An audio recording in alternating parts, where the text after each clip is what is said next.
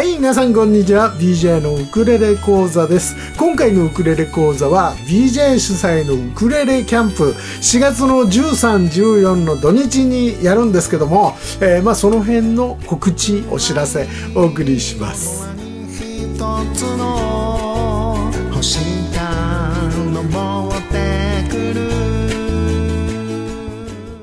第11回ウクレレキャンプ4月の13、14の土日に行うんですけども、えー、テントサイトの方が満員になったようであります。はい、えー、テント泊しようかな、どうしようかなって言ってた方申し訳ありません。あの、キャンセル待ちはできるようですので、連絡してキャンセル待ちということで、えー、待っといていただければ、もしキャンセル出た場合はですね、え入っていただくことができると思うんですけども、お部屋泊の方はまだ空いておりおります。お部屋宿泊の方、急にバーンと埋まってしまう場合もありますので、お早めに、えー、お申し込みください。まあ、ウクレレキャンプって言いますと、まあ、こういう風な写真見ていただきましょう。これ過去のウクレレキャンプなんですけども、ウクレレキャンプと言っても、キャンプ泊メインというわけではないんです。キャンプっていうのも合宿という意味のキャンプですから、まあ、もちろんテント持ち込み泊、えー、っていうのもやったりするんですけども、テント泊あんまり経験ないよという方は、えー、お部屋の方に、えー、泊まっていただくと。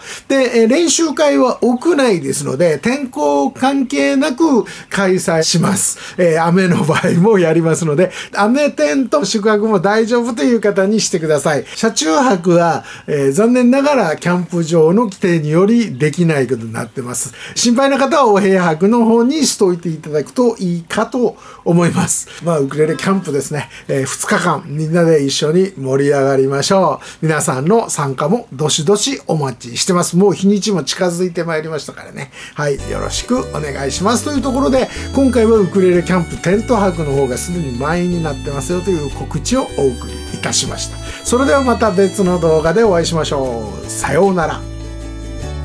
暗い夜空に一つの